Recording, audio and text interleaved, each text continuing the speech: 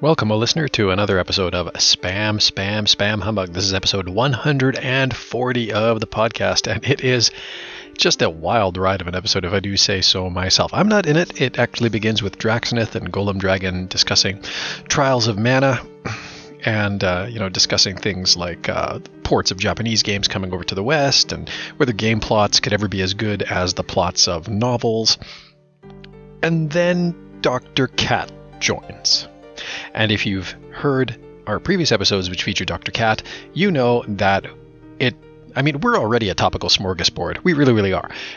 But Dr. Cat is on a whole another level, and the discussion just goes in every which way from there. They talk about the Final Fantasy series. They talk a lot about Dr. Cat's games and his career as a game designer, mentioning Furcadia, Runes of Virtue, talk about some of the games that he's enjoyed playing. They talk about fun in video games and you know creating balancing the challenge of a game so that it isn't too easy for players and also isn't so hard that it's off-putting and you know just maintaining that fun zone in uh, in, in, the, in the middle. And how things like in-app purchases and freemium models can upset that and actually exploit the upset of a good challenge loop in order to drive sales and then, as if that weren't enough, they also wind up talking about things like amusement parks and Game Pass and Google and Stadia and developing like pulse uh, pulse modulated sound effects for you know old old video games and old games and computer systems. Even talks about selling a meow sound effect to uh, John Romero. Like I say, topical smorgasbord. And this is actually the first part of at least a two parter, maybe even a three parter, because you know what? I didn't even get a chance to join in the discussion to this point in the recording. And the recording went on for another five ish hours afterward. So, an immense amount of content. This is really only the first taste. Um, but it's a just it's a good little sort of pocket discussion about a whole bunch of really neat stuff course, uh, Spam, Spam, Spam Humbug is now hosted on Anchor.fm, newer, more social podcast hosting platform. You can find us at Anchor.fm slash SSSH podcast. If that is, you aren't keen to visit us at Spam, Spam, Spam Humbug.com. If you do listen to us in the Anchor app, do consider liking us, individual episodes, or the entire podcast, and please do share with your social media circles. And as always, this episode of the podcast is brought to you by our Patreon backers, patreon.com slash Ultima Codex, if you would like to join the ranks thereof. Thank you to everyone who supports the podcast and the Codex by that means, and especially a hearty thank you to our co producers Seth, Golden Flame, Chris, Dominic, Violation, Cranberry, Christopher, Bruce, Dark Earth Dragon, Helgriff, Gronk, Pascal, and Thor1. And I am reminded that we actually have a little note of thanks to offer because Riley Perry became a patron of ours a little while ago, kind of earlier on in May, and I missed giving credit when uh, I should have. Actually, I think this happened like the day after I released an episode. So, Riley, I apologize for not getting to this sooner, but thank you for backing the podcast. Um, and again, you know, uh, that helps make the podcast and the Ultima Codex continue to be a reality. And the rest of you listeners, I do invite you to hit up patreon.com slash Ultima Codex. Consider supporting us there as well. All right, enough for me. Let's get on with the show.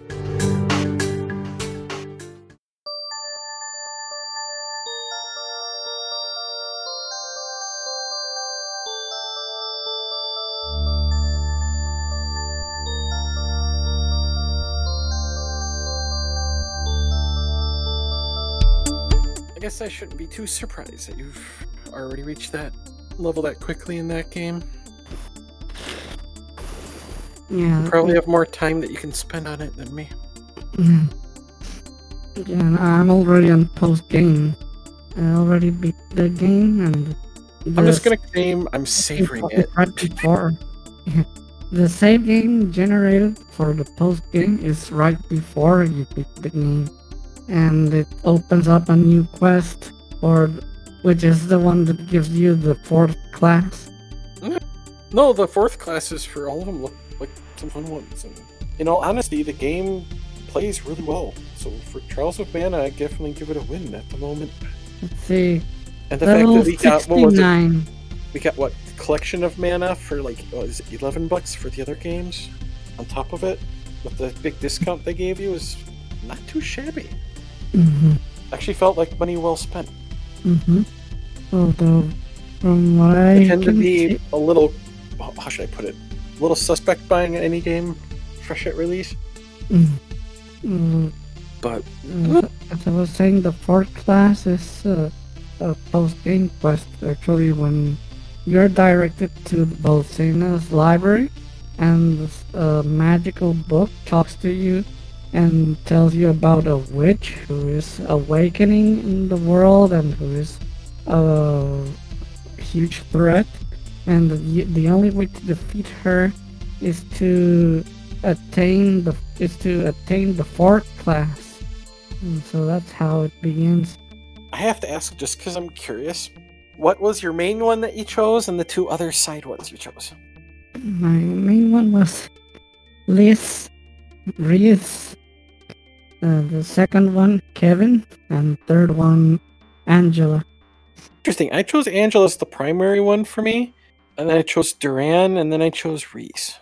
Uh, for Riesz, I went I went dark dark. For Kevin, I went light light, and also for Angela, light light. Uh, Angela for the light light class has a, a special class feature where she recovers 15% of her maximum magic points after each battle. And Saw she that one. also has she also has a skill that reduces the mana consu- consumption by 30%. And there's another one that has a I think it's a 30% chance to spend zero magic points.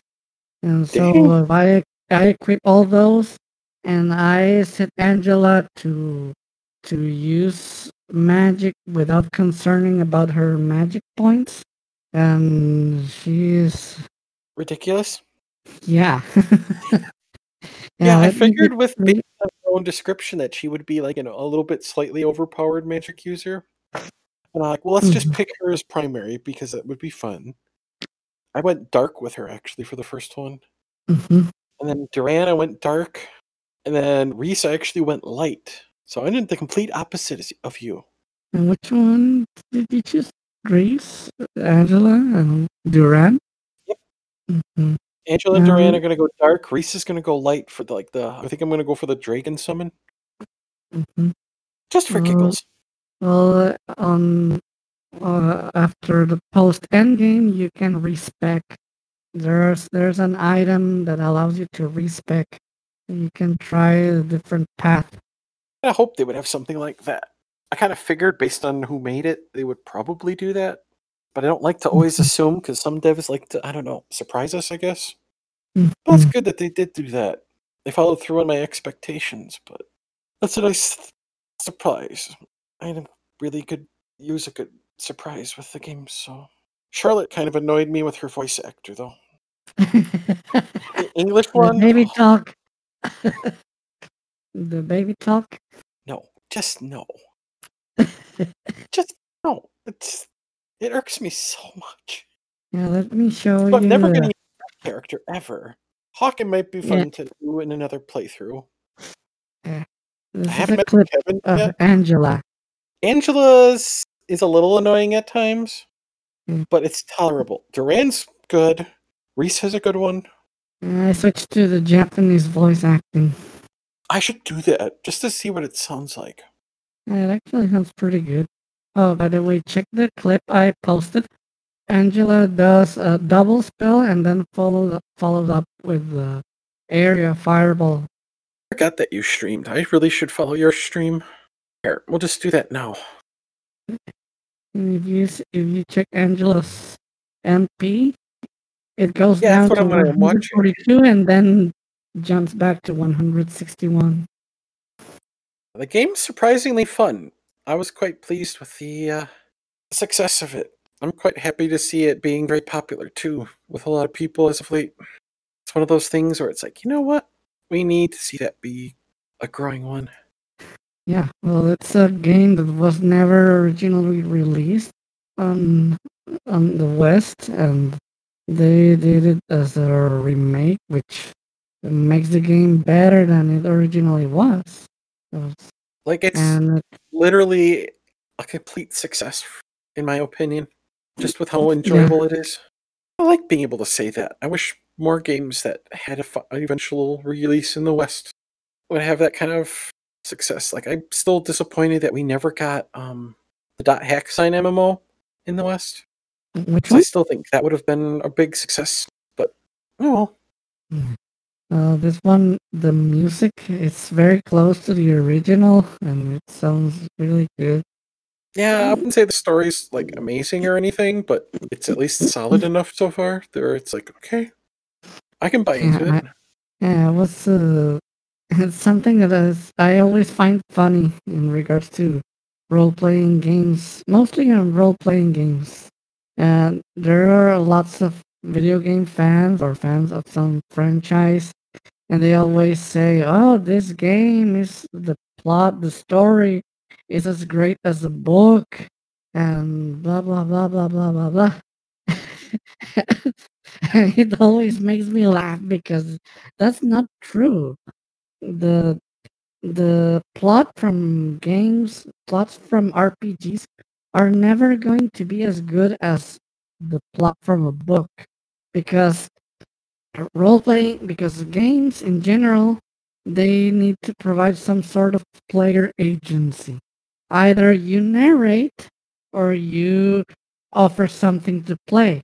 And normally the the if uh, if we compare a book with a with a game, the game is more like a movie.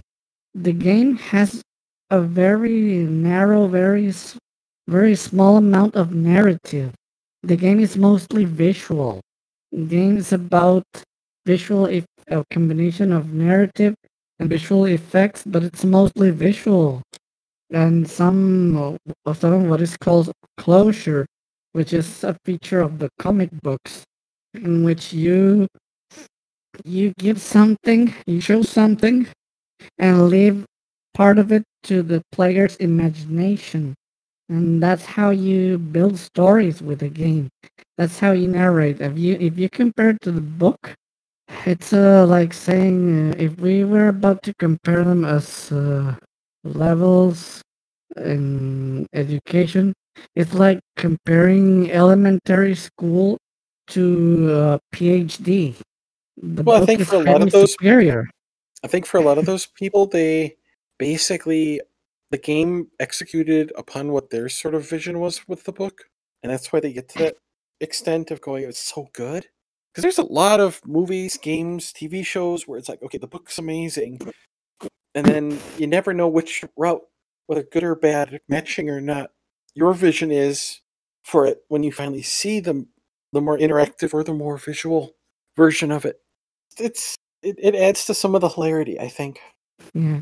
Uh, As I say, they there are games which have nothing to do with books, and these guys these guys say the game's plot, the game story, and everything is is up to the level of some of the greatest books ever written.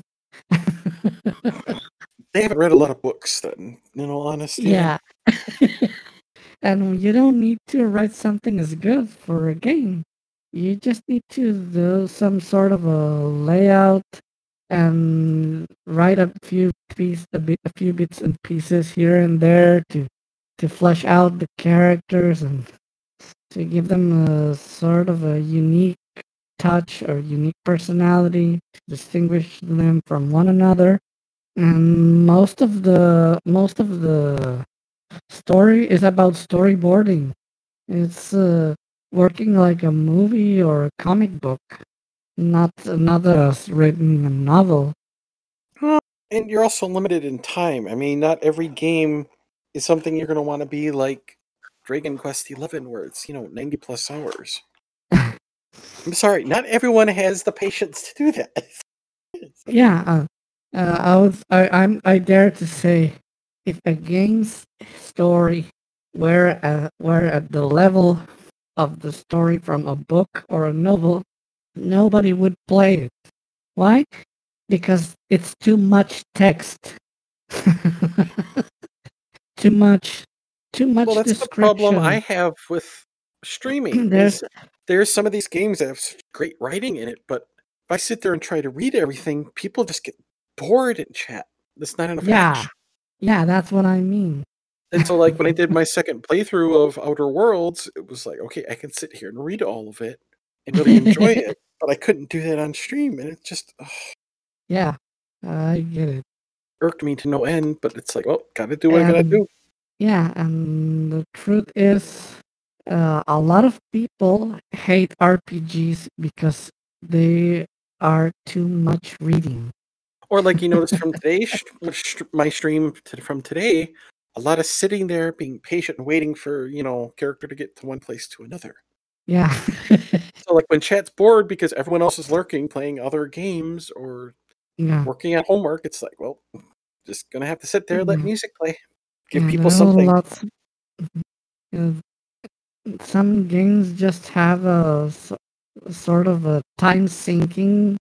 Uh, that is, I don't know. Some some find a way to make that time sink fun, and some just don't.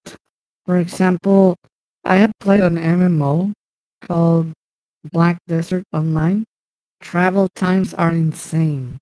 You either you run from one city to another, or from uh, city to an outpost or somewhere, or you ride on a horse or or a donkey or camel or whatever. And it's still a very long time that you spend just moving from one place to another. And then you get a quest, and the quest is in some other place, and you have to travel there, and and it's about a 15 minute travel time. And Oh bloody can- hell! and- Fifteen minutes. Like, but tonight was what four minutes or five minutes between ones. Even that was bad.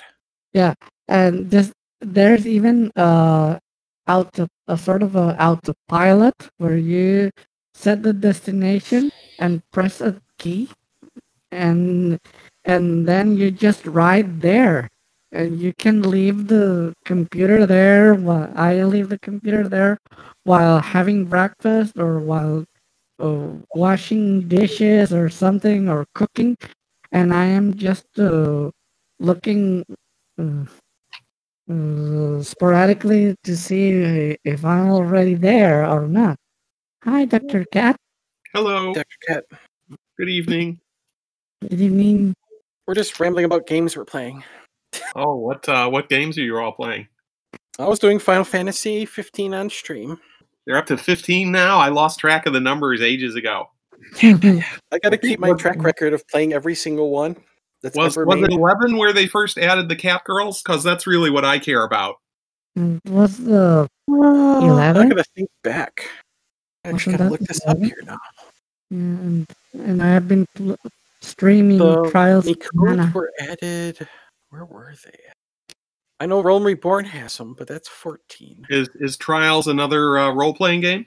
Yeah, that's Yeah, the it's what's a- it? The remake of the original version of it. Yeah, That's the what, the original one? version only came out in Japan. It, it, it was titled Seiken Densetsu San, uh, The Legend of the Magic Sword 3. And it was a sequel of uh, Seiken Densetsu Ni, which uh, it, that one did come to the West as uh, uh, under the title Secret of Mana. So now they did this remake and and the localization team titled it Trials of Mana for the West.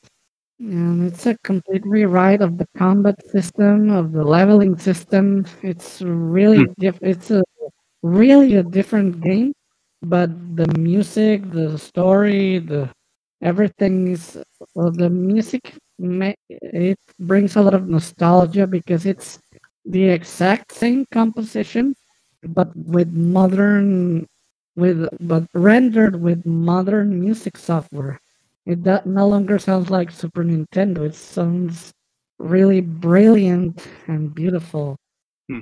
the combat You system know, it's, it's funny. I played uh, computer role playing games obsessively in the 80s, but um, at some point after I started making them, I stopped playing them so much. Uh, we played through like uh, World of Warcraft with my family up until we hit level 60 and then we stopped. But that's that's about the only one. I play just all kinds of other games mostly. Yeah, that was days. me. I binged on the RPGs until about college, and then I, then in was it 2000, 2001, I kind of started moving into other games like shooters and Mhm. focusing more on those because it's like I need a break.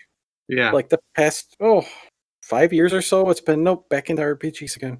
Yeah, well, it's funny, you know. Um, uh, Magic Arena, you know, is is is one of my favorites. I like to play Magic and paper, but I started uh, uh, three or four years ago making idle games. They wanted to cross, uh, you know, the popular idle game mechanics with the um, the uh, loot chests and upgradable characters um, that you see in Clash Royale, which is another game. I've been hooked on Clash Royale ever since it came out, and I've got you know my deck all max leveled. I'm trying to get the max uh, like cosmetic upgrades on all those on all those cards now, which could take me a couple more years at this rate. But um, yeah, they wanted to cross those things together, so I did the game balance for them. It became the best, uh, biggest money making idle game on mobile. And uh, I'm working on a sequel for them now. Just like two days ago, actually, uh, the Goldbergs came out based on the ABC TV show, and uh, I worked on that one. And they have me like building some more new new levels for that because now that the players are flooding in, they're gonna they're gonna need lots of content for them. Um, so I, I still play the first one I did um, every day, and I make new seasons once a month for it but um, I don't work on any of the weekend event um, levels they put in. So when I play those, I don't actually know what's going to happen and what all the balance is, so I can enjoy playing them. And they got me kind of hooked It's good that. to kind of split up the work anyways to keep that fun for yeah, well, you know, people. one one thing I gotta say, you know, I've I've made over fifty published games. Most of them, especially really content heavy games. You know, if you invented the game of chess, I imagine you could probably enjoy playing it for decades because it's you know it's it's the way the rules interact and what the other person does. But when you make a, a you know a content heavy game, especially, but most of the games I've played, you don't play it much after you're done with it. You're like, okay, you know, I I know what's going on there. It's not interesting to me. It's not fun. Runes of Virtue on the Game Boy. I used to replay Runes of Virtue about once a year, and I haven't in a while now, but I got that itch. I'd like to play it again. Furcadia, I could never get tired of, you know, user created content. And um yeah, these these idle games, the uh the decisions and the math is fun to me. You know, I could, I could imagine myself doing more like, you know, action games or computer generated puzzles or something there's some kinds of games you you know that you could enjoy playing your own game, but most of them I don't. There's just been a few. Yeah, I could see some of the roguelite ones being ones developers could enjoy just because each Yeah, no, I was Playthrough I was be a so little happy with Runes of Virtue though. Even though Runes of Virtue is content heavy, you know, just the process of playing through it is still fun, and you know, shooting at the monsters and you know, there were enough puzzles in it that I don't always remember all the puzzles when I go back and play it again after another year. I had to like refigure them out. So Mhm. It's it's like they say, if you know what to do, you're not gonna do it. yeah you know one one of the things that i got worked into as a You know- specialty is working out progress curves in games and balancing game economies and you know rewards and and challenges. And uh you know i gave a talk at gdc about what i call the fun zone. You know if you look at your progress curve it's like how far have you gotten through the game uh on the vertical axis and how much time have you been playing in you know like days and months on the bottom axis? If um if the the the curve is up too high and the game is too hard, people are just going to quit. They're like, "Oh, this game's too hard. I'm not going to get far. I have to wait too long. It's not fun." But if you if you let people zoom through the game, then the game's boring because it's too easy. You have to you have to be right in the middle between those extremes where it's challenging, but you feel like, "Oh yeah, I'm having to work for this, but I know I'm going to get there. Oh, I had to try this level two or three times." But that's okay. I learned it. I got better at it, and I felt good about beating it with what I learned the first couple times I got killed. You know, you you want an appropriate level of challenge, so it's so it's fun. been having a debate on mobile games with that kind of stuff in regards to especially the rewards and ones where it's got the RNG Mhm. loot with characters and stuff. Yeah. There's one where I've played it now for a little over two years, and the curve did not start very well, but they obviously kind of got it in order eventually. Mhm. Yeah, There's so many other ones where the curve is just so bad. Yeah. Well, I remember, um, you know, I uh, I took over uh, Ravenwood Fair, which is the most uh, most popular game I ever worked on. I took it over for John Romero and Brenda Romero when they moved on to start a new company. And um, so, you know, when I went to play Frontierville from Zynga, it was, you know, it was more than just casual interest. Ravenwood Fair was inspired by Frontierville, right?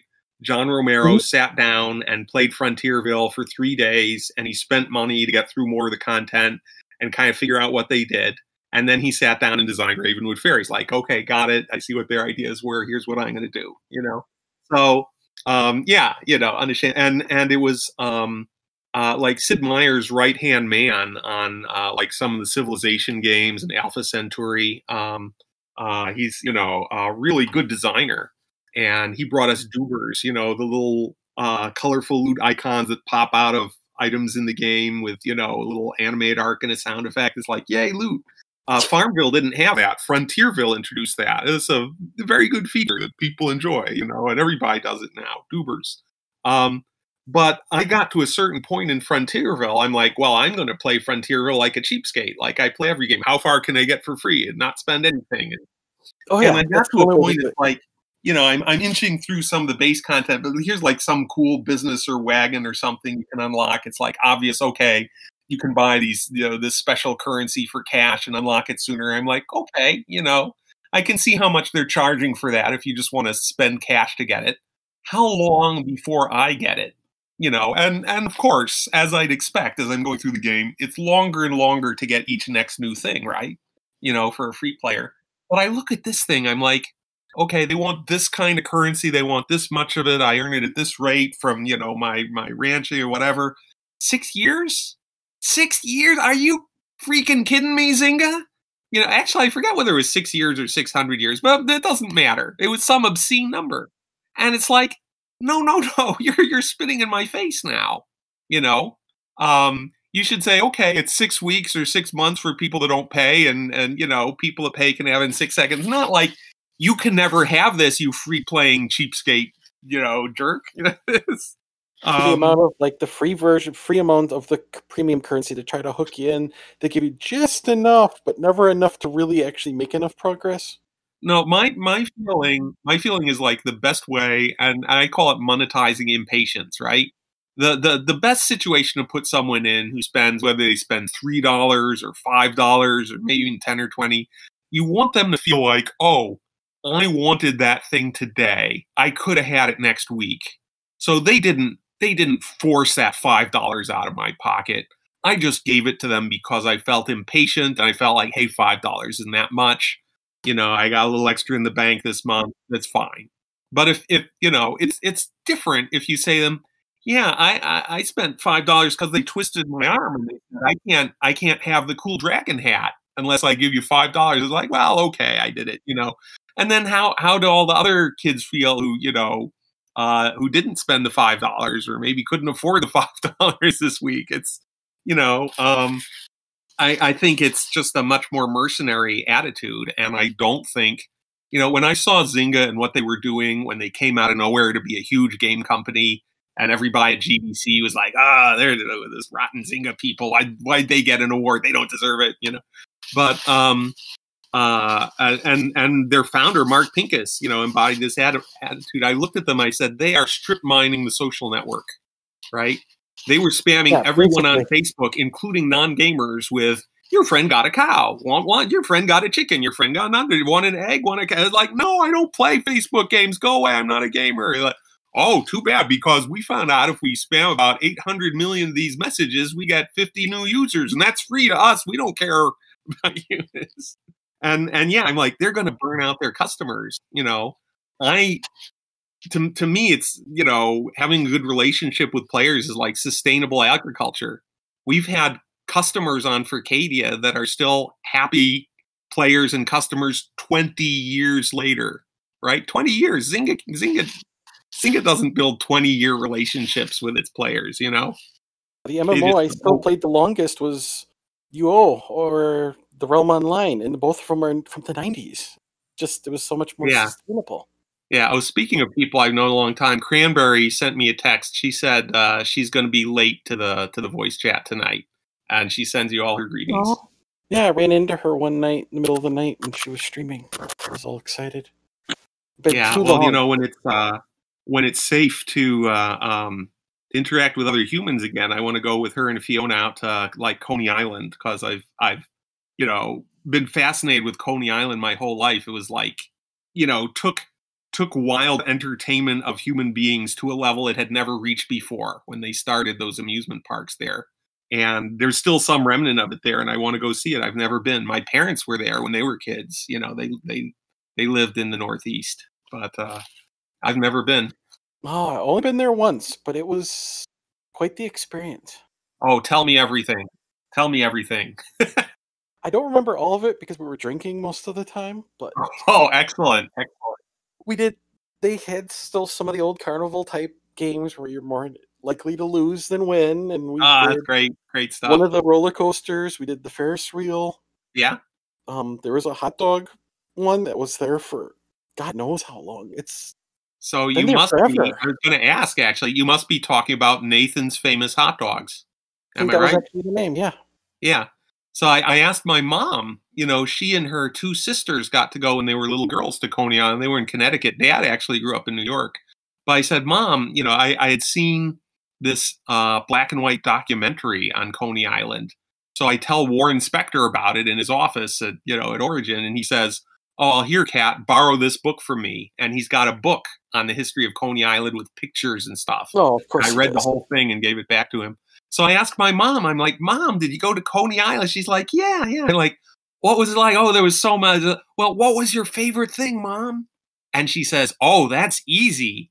When my sisters and I would go, we would all get really excited that we were going to go to Nathan's hot dog stand and get to drink their delicious orange drink they would sell you. I'm like, that's it? I thought she was going to say a ride or something. The orange drink at Nathan's. For me, it was the history of the place. The fact that it's Uh-huh. still there after all Oh, these yeah. decades. Yeah. It just blows my mind. Hmm Because carnivals just they don't have the appeal that they used to. Yeah. But Well, even they, they shut down a lot of that. I There, went there was this, there was this um, big developer, you know, crooked, of course, but uh, he, Mhm. a lot of the redevelopment and changes in New York in the middle of the 20th century were because of him, and uh, he was opposed to like amusement parks and and you know uh, uh, crowds and noise and you know lower class and poor people, and he thought that was all bad. So he he got a lot of that shut down. He couldn't force Nathan's hot dogs out, you know. But Nathan fought the guys like rezoning stuff and shutting down amusement parks and stuff. Yeah, they started to reopen some amusements, you know, like uh, a couple decades later. But it was never like the golden days. Never again, you know. this was like 17, 18 years ago was the last time I was there. So it's yeah, been no. In in the in the early Wow. 1900s, um, they had the second and third amusement park opened up. Right, the the Mhm. second one was two brothers who'd saved up like you know seventy five thousand dollars, which was an immense sum at that time. Right, and so the crooked political you know uh, uh, boss of New York City and mayor. You know, got together with his cronies and they raised money. They got the the land across the street and they opened up uh, a huge amusement park also. Uh, one of them was Dreamland, and the other one was Luna Park. They were they were rivals. But uh, you know, Thomas Edison had not that long ago invented the light bulb. So um, one of these amusement parks, they installed five hundred thousand light bulbs, and people came to the first night the amusement park was open, and they saw the outdoors lit up as bright as day for the first time anyone seen that in their life. This was an amazing thing. And you know, it was across the street. This was Luna, I think, across the street at Dreamland, not to be outdone by this 500,000 light bulbs. They installed 1 million light bulbs. oh yeah, gotta one up it, Eric. Oh yeah, yeah. yeah, it was amazing. One of them had uh, Mount Vesuvius simulated, of course, erupting, you know, with fake lava every hour on the hour. So across the street, you could see Mount Krakatoa volcano erupting. You know, one of them had a um, uh, they would simulate a battle from the Boer War, I think it was, uh, against you know British soldiers fighting against Zulus. and they had a bunch of people in costume as the British people, you know, firing blanks out of their rifles. The Zulus, they found an entire tribe in Africa and made a deal with them and moved them to all to New York. They put them up on the, the amusement park grounds. They lived there. They fed them. They housed them. And every day, multiple times a day, they would go get out their spears and pretend to fight. You know, for for the, that was their job. So they hired an entire tribe. Crazy stuff. Uh, I wish I could have been, but yeah, I'll, I'll go see what's there now for sure. Oh yeah, it's good they try to at least get some more traveling in now before a lot of these places end up going in the way of the dinosaur. Yeah, well, you know, I don't expect some of these more historical ones in the states to stick around as long as we hope. yeah. Well, my my my parents, you know, uh, pulled uh pulled a, a a nasty little move on my sister and I. Uh, Palisades Amusement Park in New Jersey. Uh, they knew again from like growing up in the North. Oh, that was the biggest amusement park in the United States. The Palisades. Everybody, you know, and they had probably been to it as as kids. I don't I don't know, but they said, hey, let's go check out. You know, if Palisades is still there. My sister and I were little kids, you know, on a family car trip to see grandma. We were like, biggest amusement park ever. Wow. You know, and so they drive there. And it was like the saddest thing in my life. It was still there, but it was closed permanently. But you could look through the fences and see all these things with like tarps draped over them and stuff. It was like the, the corpse of a, a gigantic amusement park, and you couldn't go in and have fun. And they're like, oh, why did you show me this? That's even Uh. one where I still remember the name of it. Yeah, no, I need to watch. I, I picked up in California um, a DVD of nostalgia about this um, this big amusement park on the Pacific Shore, and I went to this restaurant that's right by where the thing you know used to be, and it had been shut down. Also, the Sutro Baths, you could see the ruins of them and walk amongst them, which I did, which was like right next to this amusement park. It was a huge public, you know, diving and swimming facility, and they had dance floors and they had rows of bleachers if you just wanted to sit and watch other people swim. You know, it was, it was a huge facility. But uh, yeah, I, I got a couple nostalgia DVDs on those I have to watch and, and you know learn about the history of fun. So it's my research. We had something else that I posted. Let me just check Discord here. Oh yeah, one of the articles that came out recently had Microsoft's big uh, milestone that I thought was rather significant. The Xbox Game Pass that everyone was a little skeptical of at first hit over 10 million people. Mhm. Wow. Oh. Certainly crushed uh, Stadia, that's for sure. Oh man, I, I was interested in Stadia a bit because it was Google. Google has interviewed me for jobs like four or five times now, and they, they always say, "Oh, you know, either the the position we were interviewing you for has been closed, you know, before before we made you an offer, so I guess we stopped talking to you about it now," uh, or um, one time they said, "Oh." The only openings in that advanced research group are two levels too low for you, and uh, so I told the recruiter, you know, I, I could I could consider just joining at that, and they could promote me later. And she said, yeah, I tried talking to them about it. They said, you know, the pay would be an insult. I'm like, what is the pay at you know at L5? And she told me, I'm like, yeah, most most places don't pay like that for anything, but whatever. Um, and then she said also, which is fair. She said, well, you know, if if you and L7 were there with these other L5s, when a when an opening in that group opened up for an L6 or an L7, and they wanted to go for the promotion, they wouldn't have a fair shot at it because they'd be up against you. I'm like, okay, I, I can see the point there, you know. But uh, no, if if I were if I were running Google and like an exceptional candidate comes along, it's like, man, we gotta have this guy at Google. Let's create a position that'll fit in somewhere, and you know, put him in it. They're they're um, the guy that called me actually from Austin said, "Oh, we've we've set up a new advanced recruiting group because we found we're good at recruiting, you know, like young people right out of college or early in their careers, but we're bad at recruiting more, you know, senior experienced talent. So our group was formed to do that. So let me just chat with you, and then I'm gonna look around different groups and see if I can find anything that might be to your taste. And okay, cool, you know. And that didn't lead anywhere either. So Oh.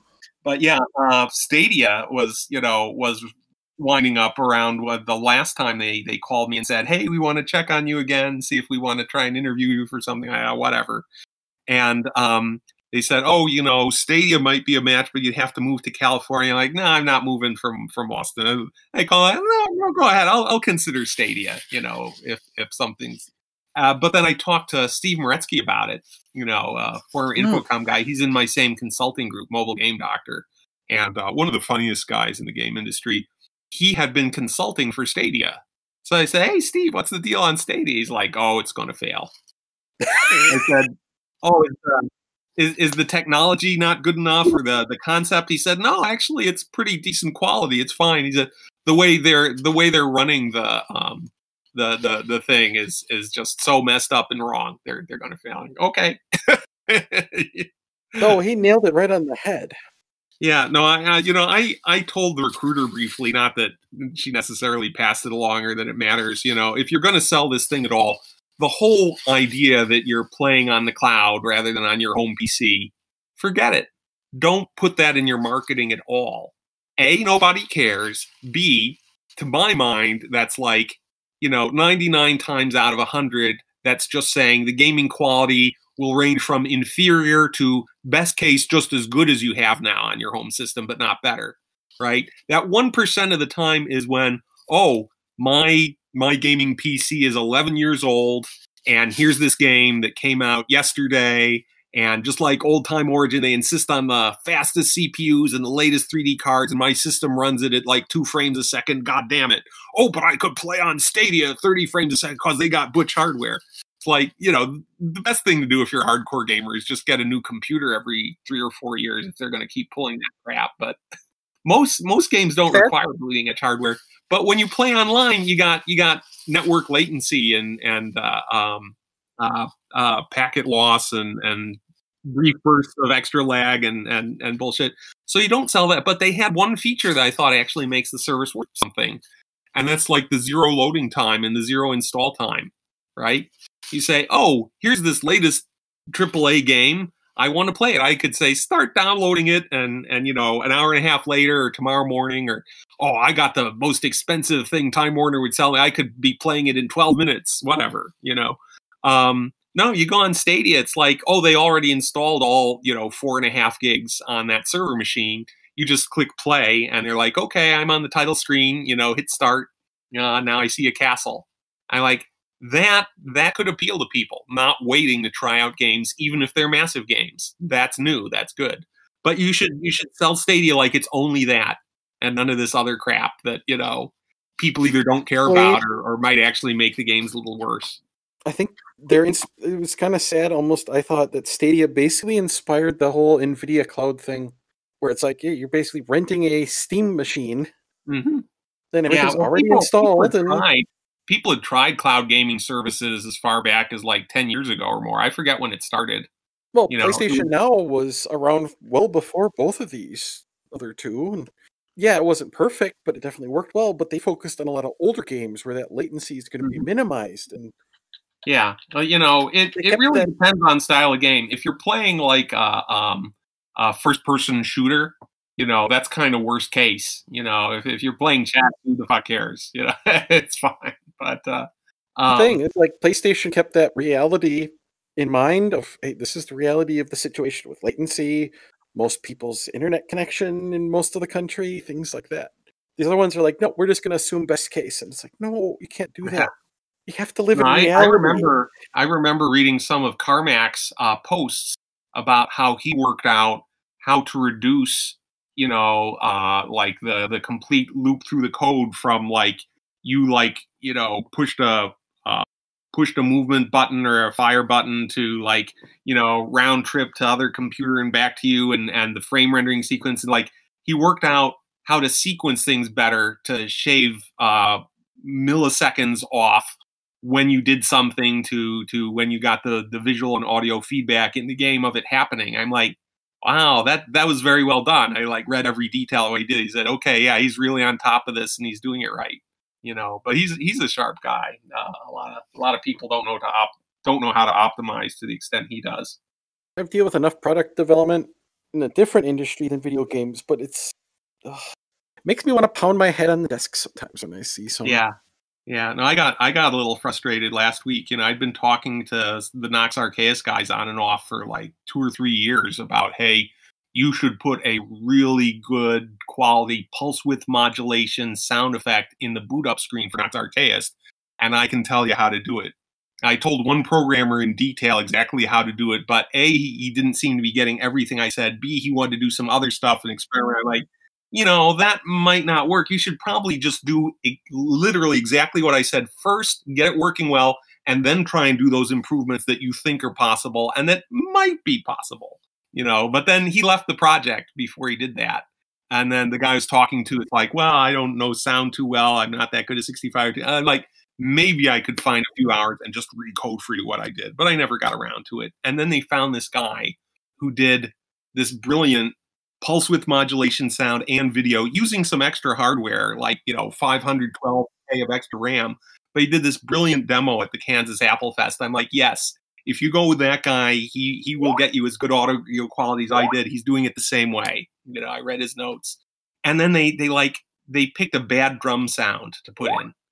And I'm like, no, no, you should you should have done voice, you know.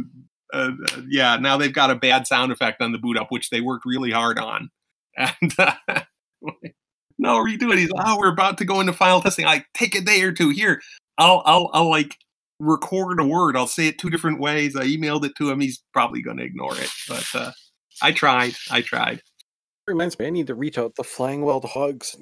yeah, no, it's had my my uh, my beautiful sounding digitized sound on the Apple II Plus. By the way, uh, I made it with the intention that Greg Malone could try and use it in uh, in Windwalker, but he was late getting that out and broke, and the Apple game market was dying, and ended up not selling any and not making any money anyway. But he didn't want to spend a day or even like two or three hours putting it in. I got all the code working for him, and then he was like, you know, so where's the file I just put in? It's like he expected me to also make up a sound effect, figure out how to hook it in his game, and throw it on the disk for him. And my job was just to make a Commodore 64 version, right? I wasn't being paid a penny to do anything for the Apple version. But I told him on Friday, I thought, okay, this this sounds pretty good for an Apple, but there's three problems with it that make me feel like it's not good enough quality for a for a published game in you know by my standards. If I could solve all three of them over the weekend, boy, that would be cool. So I told Greg, I said, you know, if I solve all these and give you the sound routine, you know, you should owe me one cheeseburger. He said, okay he said okay. He never bought me the cheeseburger. Greg Malone owes me one cheeseburger to this day. Uh, Softdisk magazine on disc, if any of you heard of it, you know John Romero and the id guys, you know, used to work there making little games for them.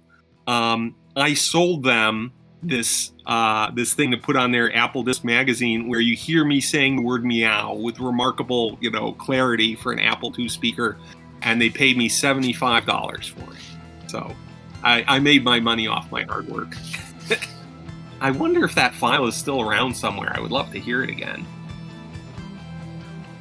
If you want to join the Ultima Dragons, you can do so at udic.org, where you can choose your very own dragon name. You can also find the Ultima Dragons on Facebook. We have a Facebook group there. And you can follow at Ultima Dragons on Twitter or join them on Discord. And if you're feeling really old school, you can even fire up a Telnet client and check out the wear mount. Hit up the show notes for links to all of these. If you want to participate more directly in the podcast, you can send us an email, or if you're feeling a little bit braver, leave us a voice message in one of three places the podcast website, our Facebook page, or on anchor.fm. And you're also welcome to join us on our Discord server to chat with us, to lurk, or even contribute to podcast recordings when they happen. And again, links in the show notes. If you'd like to support Spam Spam Spam Humbug, you can do so at patreon.com slash ultimacodex, where for as little as a dollar a month you can get access to episodes the day before they go live to the general public. You'll also get access to behind-the-scenes audio when we have some to share, and possibly other interesting content. But we also welcome your moral support. You can like the Ultima series on Facebook, follow at Ultima Codex on Twitter, or leave the podcast a review on iTunes. And you're also welcome to share our episodes with your friends and social media circles. Spam Spam Spam Humbug is a production of the Ultima Codex. You can find show notes online at spamspamspamhumbug.com. Thank you for listening, and until next time, be virtuous.